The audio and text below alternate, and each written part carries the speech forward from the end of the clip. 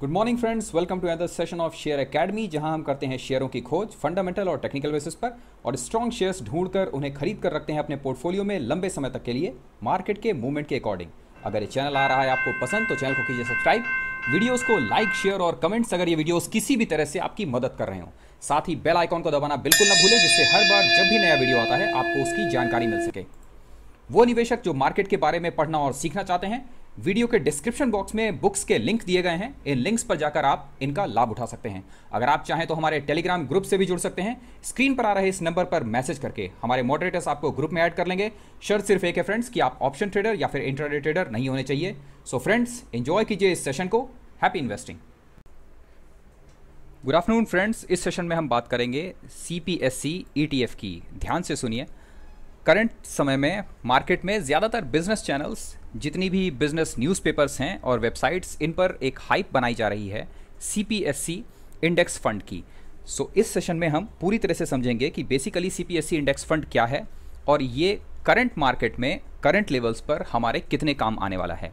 ध्यान से सुनिए कि basically C P S E index fund है क्या। C P S E index fund और कुछ नहीं रिलायंस म्यूचुअल फंड की तरफ़ से लाया गया। Central public sector enterprises exchange traded fund है। ना ये समझने में आपके लिए थोड़ा सा मुश्किल होगा कि आखिर ये चीज़ है क्या।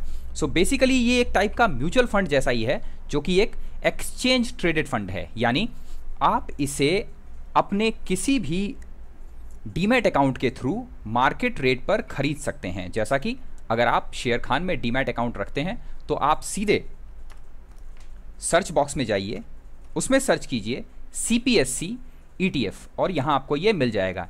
ये किसी भी एक शेयर की तरह मूव करता रहता है, जिसका करंट मार्केट प्राइस पच्चीस रुपये अट्ठाईस पैसे है, और आप इसे बिल्कुल शेयर्स की तरह बाय कर सकते हैं। इसकी एक वैल्यू दो वैल्यू या जितनी भी आप चाहें, और शेयर्स की तरह आप जब चाहें तब इसे बेच सकते हैं। बट हमारे लिए सबसे इंपॉर्टेंट क्वेश्चन है कि आखिर इस पर्टिकुलर म्यूचुअल फंड की हाइप या एक्सचेंज ट्रेडेड फंड ETF की हाइप इतनी ज़्यादा क्यों बनाई जा रही है, और ये बेसिकली करता क्या है? सो so, जैसा कि आप नाम से जान सकते हैं कि सेंट्रल पब्लिक सेक्टर इंटरप्राइजेस यानी कि इस ईटीएफ e के अंदर आप जो भी पैसा लगाएँगे वो सारा का सारा पैसा 10 सबसे बड़ी पब्लिक सेक्टर अंडरटेकिंग्स जो हैं यानी गवर्नमेंट के ओनशिप ओनरशिप में जो 10 सबसे बड़ी कंपनीज़ हैं उनके अंदर ये पैसा लगेगा। नाउ अब क्वेश्चन ये उठता है कि सीपीएससी ईटीएफ e के अंदर कौन सी वो सबसे बड़ी 10 एजेंसीज हैं जिनके अंदर ये पैसा लगेगा? तो उन एजेंसीज में national thermal power corporation, coal India limited ONGC oil natural gas corporation, Indian oil corporation IOC rural electrification corporation limited, R E और power finance corporation limited PFC Bharat electronics limited BEL oil India NBCC और NLC शामिल हैं। अगर इन्हें आप इन companies को, इनकी market cap के हिसाब से देखेंगे तो जो ये ई e है, इसके अंदर चार लार्ज कैप की कंपनीज़ हैं। पाँच मिड कैप की कंपनीज़ हैं और दो स्मॉल कैप की, और इस तरह से ये कुल मिलाकर करीब 11 कंपनीज़ हैं जो इसके अंतर्गत आती हैं अगर सेक्टर वाइज इनका डिफ्रेंसिएशन देखेंगे तो आप देखेंगे कि ऑयल एक्सप्लोरेशन की दो, पावर की तीन, इंडस्ट्रियल मिनरल की, जिनमें कि कोल इंडिया है एक, रिफाइनिंग की आईओसी फाइनेंस की दो, इंडस्ट्रियल इलेक्ट्रॉनिक्स की एक, और कंस्ट्रक्शंस की एक एनबीसीसी शामिल है। इस सब के साथ एक बेहद इंपॉर्टेंट इंफॉर्मेशन है फ्रेंड्स जो आपको ज़्यादातर आपके साथ डिस्कस की जा रही है। वो क्या है? ज़रा इस इंफॉर्मेशन को ध्यान से देखिएगा और समझने की कोशिश कीजिएगा। रिस्क एंड रिटर्न जो स्पेशली डिस्कस किया जा रहा है, वो कहा जा रहा है कि since E T F was launch in 2014 the net asset value NAV has move from 19.24 and has appreciated by 46 percent यानी कि जब से ये लॉन्च किया गया था 2014 से, तब से अब तक तकरीबन 46 परसेंट का रिटर्न दे चुका है, जिसमें सबसे ज़्यादा रिटर्न ईयर 2016 से 2017 के बीच में आए थे। और ये इन्फॉर्मेशन बार बार देकर, बार बार बिज़नेस चैनल्स पर इस चीज़ को डिस्कस करके ये चीज़ बताई जा रही है कि ये सी पी टी एफ़ जो है, ये आपके लिए बहुत ही इंपॉर्टेंट है, बहुत ही ल्यूक्रेटिव है, जहाँ की रिस्क रिवॉर्ड रेशियो आपके फेवर में रहेगा और आप चाहें तो इसके अंदर बाय करके अच्छा रिटर्न जनरेट कर सकते हैं। बट हमारे पास में एक और इन्फॉर्मेशन है, जो कि है इसका पोर्टफोलियो इसका पोर्टफोलियो हमारे पास अवेलेबल है तो हम एक काम करते हैं कि इस कंपनी को, इस पर्टिकुलर ई e को थोड़ा सा और डिग डीप करते हैं। और डिग डीप करते हुए देखते हैं कि आज की डेट में ये जितनी भी कंपनीज़ जिनके अंदर इस ई e का निवेश है ये चार्ट पर कैसी लग रही हैं और क्या ये कंपनीज़ का रिटर्न बेहतरीन है या नहीं, ओके? सो सेम वही, जिस सॉफ्टवेयर का हम इस्तेमाल कर रहे हैं, वो है शेयर खान का ट्रेड टाइगर और हमने सेम वही कंपनीज़ ले रखी हैं NTPC coal India O N G C I O C R E C P F C B E L Y L N B C C N L C okay? और अब एक एक करके हम इन शेयर्स को देखते हैं कि आखिर इनका परफॉर्मेंस इस समय में करंट गवर्नमेंट में या करंट टाइम में कैसा है। ज़रा ध्यान से एनटीपीसी को देखिएगा। ऊपरी स्तरों से शेयर को एक रेसिस्टेंस मिल रहा है बार बार रेसिस्टेंस लेवल है तकरीबन 150 का। अगर इंडिविजुअली आपको एनटीपीसी खरीदना हो तो आप इस शेयर को बाय नहीं करेंगे करंट लेवल्स पर। किन लेवल्स पर बाय करेंगे? करंट लेवल है 127 कम से कम ये शेयर यहाँ से 150 के पार निकलता है, उसके बाद ही किसी तरह की कोई फ्रेश बाइंग करने लायक होगा। 150 और ध्यान रखिए friends national thermal power corporation use करता है थर्मल पावर का, जिसके अंदर कोल बेस और गैस बेस पावर प्लांट हैं। मेजॉरिटी वाले प्लांट्स इनके कोल बेस हैं, जिसकी तरफ़ से गवर्नमेंट धीरे धीरे अपना कंसंट्रेशन हटा रही है और रिन्यूएबल और ग्रीन एनर्जी की तरफ़ अपना कंसंट्रेशन ला रही है। इस वजह से आप देखेंगे कि लंबे समय तक एनटीपीसी ने बहुत अच्छा परफॉर्म करके निवेशकों को नहीं दिया है। सेकेंड कोल इंडिया। चार्ट पर अगर आप एक तरफा देखें तो सीधे सीधे आपको दिखाई देगा कि जुलाई 2015 से share one sided down trend के अंदर है। मेजर गिरावट हुई है कोल इंडिया में 417 से 220 तक। और ज़रा एक चीज़ ध्यान से देखिए कि इस पर्टिकुलर सीपीएससी ईटीएफ के अंदर इंडिविजुअल शेयर्स का परसेंटेज कितना है? कोल इंडिया 20 परसेंट होल्डिंग रखती है इस ईटीएफ के अंदर। वो शेयर जिसने पिछले तीन सालों में कोई बेहतर परफॉर्मेंस नहीं दी और जो लगातार डाउन ट्रेंड के अंदर है, वो 20 परसेंट वैल्यू गवर्न करता है इस ई e की। कोई बात नहीं, आगे चलते हैं और देखते हैं ओएनजीसी का हाल क्या है। सेम वही मेजर डाउन ट्रेंड के अंदर शेयर किन लेवल से? तकरीबन 293 के लेवल से। O N continuously down trend के अंदर है और 287 से शेयर 143 के लेवल पर है, जो कि इसके करीब 52 वीक्स के लोअर लोज लेवल हैं, इन लेवल्स पर ओ है और देखते हैं कि ONGC oil and natural gas corporation again ये इसका 20 परसेंट होल्डिंग रखता है इस पूरे ई e का। शानदार इंफॉर्मेशन है।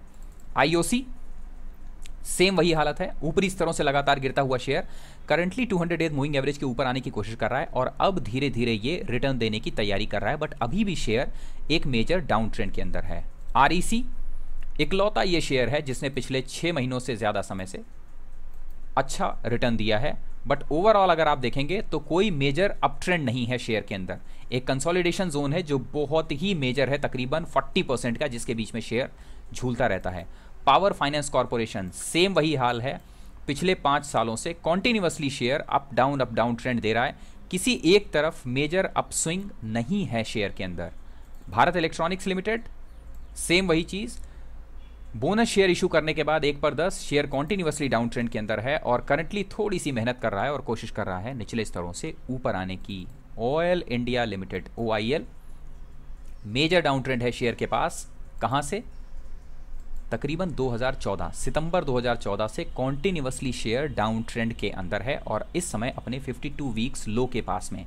एनबीसीसी प्योर डाउन ट्रेंड है। कहाँ से?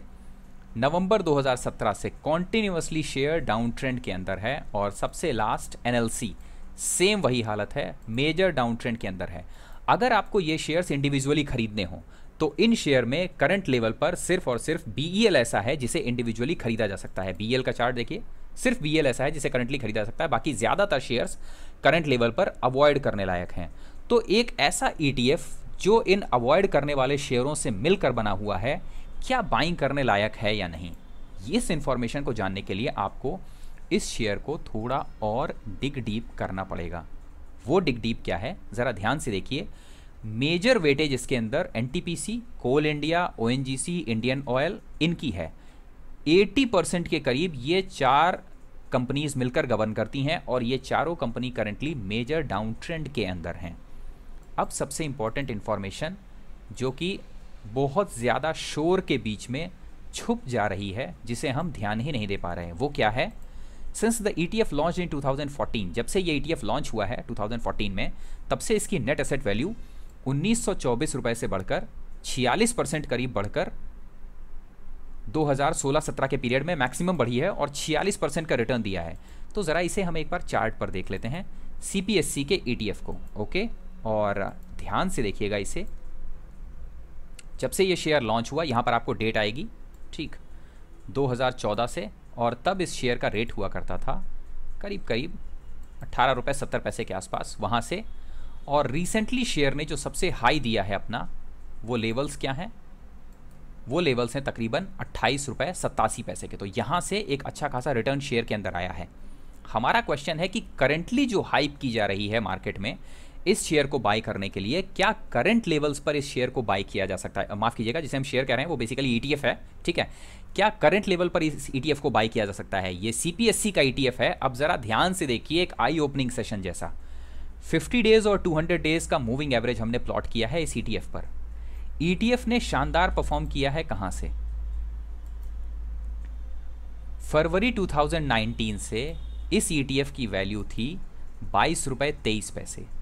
जहाँ से इस शेयर ने बेहतरीन रनअप दिया और पहुँचा उनतीस रुपए के पास तक।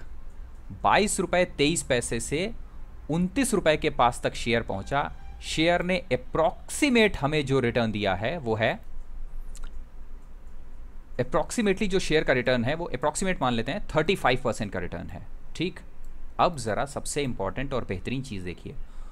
ऊपरी स्तरों पर रेसिस्टेंस लेने के बाद ईटीएफ e आखिर ऐसा क्या हुआ कि पिछले तकरीबन कितने ट्रेडिंग सेशन हुए? एक, दो, तीन, चार, पाँच, छः, सात, आठ, नौ, दस, ग्यारह। यानी दो वीक के अंदर ये एक्सचेंज ट्रेडेड फंड ऊपरी स्तरों से करीब करीब हाफ़ से ज़्यादा गिर चुका। जितना इसने रिटर्न दिया था, उससे ज़्यादा इसकी गिरावट आ चुकी है। और गिरावट कितनी? ज़रा इस गिरावट को ध्यान से देखिए। जितना रनअप देने में इस शेयर को मार्च, अप्रैल, मई, जून, जुलाई पाँच महीने लगे जितने रनअप को देने में। इस रनअप को देने में इस ईटीएफ को पाँच महीने लगे थे। उस पाँच महीने का पूरा रनअप ये ईटीएफ पिछले पंद्रह दिनों के अंदर गायब हो जाता है। पूरा रनअप खत्म हो गया है इस ईटीएफ का और करंटली ईटीएफ ट्रेड कर रहा है पच्चीस रुपये छब्बीस पैसे पर। हमारा क्वेश्चन है कि ऐसा क्या हुआ कि जिस दिन से इस शेयर के अंदर हाइप बनाई, माफ़ कीजिएगा, इस ईटीएफ के अंदर हाइप बनाई जा रही है, उसी दिन से ये ईटीएफ गिरना शुरू हो रहा है और वो भी इतने कायदे से गिर रहा है। हमारा क्वेश्चन है कि अगर एक शेयर को, गिरते हुए शेयर को आप बाय नहीं करते तो क्या इस गिरते हुए ईटीएफ को आप बाय करेंगे? जब ये ईटीएफ 200 डेज़ मूविंग एवरेज तोड़कर यहाँ गिर रहा था, तब क्या आप इस ईटीएफ के अंदर बाय करते? आंसर था नहीं। तो अगर इस गिरते हुए शेयर में, गिरते हुए ईटीएफ में आप यहाँ बाई नहीं करते तो फिर करंटली इस गिरते हुए ईटीएफ के अंदर आप इन लेवल्स पर बाई करेंगे क्या? ये वो इन्फॉर्मेशन है जो ईटीएफ के इस पूरे हंगामे के बीच में सीपीएससी के बीच में नहीं समझ आ रही है। डिग डीप नहीं कर रहे हैं, इसलिए लोगों को नहीं समझ में आ रहा है। हाँ ये हो सकता है कि आपको अगर श्योरिटी चाहिए गवर्नमेंट की सिक्योरिटी चाहिए और पब्लिक सेक्टर अंडरटेकिंग का ईटीएफ है तो इसका ये कन्फर्मेशन चाहिए आपको तो आप बाई कर सकते हैं। बट करंट लेवल्स पर बाई क्यों करना? अगर गिर रहा है तो पूरी तरह से गिरावट खत्म होने दीजिए, निचले स्तरों पर आने दीजिए स्टेबल हो जाए ईटीएफ उसके बाद बाई कीजिए। ज़रूरी है कि इस समय गिरावट के समय ही इसके अंदर बाई करना ईटीएफ के अंदर। फ्रेंड्स ये वो इन्फॉर्मेशन है जो सी पी एस सी ई की इस पूरी हाइप के बीच में छुप जा रही है। हमारा काम है किसी भी शेयर में या किसी भी ईटीएफ में या किसी भी म्यूचुअल फंड्स के अंदर बाय करने से पहले थोड़ी सी स्टडी कर लेना। ये देख लेना कि वो म्यूचुअल फंड्स जिन पर्टिकुलर शेयर्स के अंदर, जिन पर्टिकुलर स्कीम में, जिस पर्टिकुलर ईटीएफ में या जिस पर्टिकुलर सेक्टर में पैसा लगा रहा है, क्या वो सेक्टर रिटर्न देने लायक है भी या नहीं? अगर वो सेक्टर रिटर्न देने लायक नहीं है तो ओनर होने के नाते, पैसा रखने के नाते हमारी ज़िम्मेदारी है कि उस पर्टिकुलर ईटीएफ e में बाय करते समय या उस म्यूचुअल फंड में बाय करते समय हमें थोड़ी सी स्टडीज़ करनी चाहिए। इसीलिए फ्रेंड्स शेयर एकेडमी ये मेहनत करती है कि कोई भी नया टॉपिक आया है, उसके ऊपर थोड़ा सा स्टडी करना डिग डीप करना और स्पेशली अगर शेयर्स चार्ट पर देखा जा सकता है तो चार्ट पर ज़रूर देखना। और अगर डाउन ट्रेंड के अंदर है ई e हो या शेयर तो फ्रेश बाई करने से बचना। इसलिए कोशिश कीजिए कि करंट लेवल पर इस पर्टिकुलर ईटीएफ के अंदर फ्रेश बाय करने से बचिए। Business channel websites business communities या फिर बिज़नेस वेबसाइट्स इन पर चाहे जितना ही बिज़नेस पेपर्स कितना ही हाइप क्यों ना बनाया जा रहा हो, अपनी स्टडीज़ कंप्लीट कीजिए। उस स्टडी को कंप्लीट करने के बाद ही ये तय कीजिए कि शेयर के अंदर आपको बाय करना है या नहीं ईटीएफ e आपको करंट रेट पर बाय करना चाहिए या नहीं। आपके जो भी विचार हैं फ्रेंड्स कमेंट बॉक्स में जाकर एक बार हमें ये ज़रूर बताइए कि क्या सी पी एस को इतनी इन्फॉर्मेशन के बाद आप करेंट रेट पर बाय करना चाहेंगे या नहीं? अगर हाँ तो उसका रीज़न क्या है? और अगर नहीं तो उसका रीज़न क्या है? आपसे फिर मुलाकात होगी अगले सेशन में शेयर अकेडमी के। तब तक के लिए अपना और अपने पोर्टफोलियो का ध्यान रखिए। थैंक यू फ्रेंड्स उम्मीद है कि सेशन आपको पसंद आया होगा। अब आप हमारी मदद भी कर सकते हैं। स्क्रीन पर आ रहे इस पेटीएम नंबर पर। साथ ही आप चाहें तो गूगल पे का इस्तेमाल भी कर सकते हैं। मिलते हैं आपसे अगले सेशन में। तब तक अपना और अपने पोर्टफोलियो का ध्यान रखिए। शेयर अकेडमी एक ईमानदार कोशिश है नॉलेज शेयरिंग की। मार्केट में चल रहे लाखों रुपए के सेमिनार में दिया जाने वाला नॉलेज हम यहाँ पर आपके साथ फ्री में शेयर करते हैं। सो so, जुड़े रहिए शेयर अकेडमी के साथ और हमेशा याद रखिए friends that money never sleeps thank you very much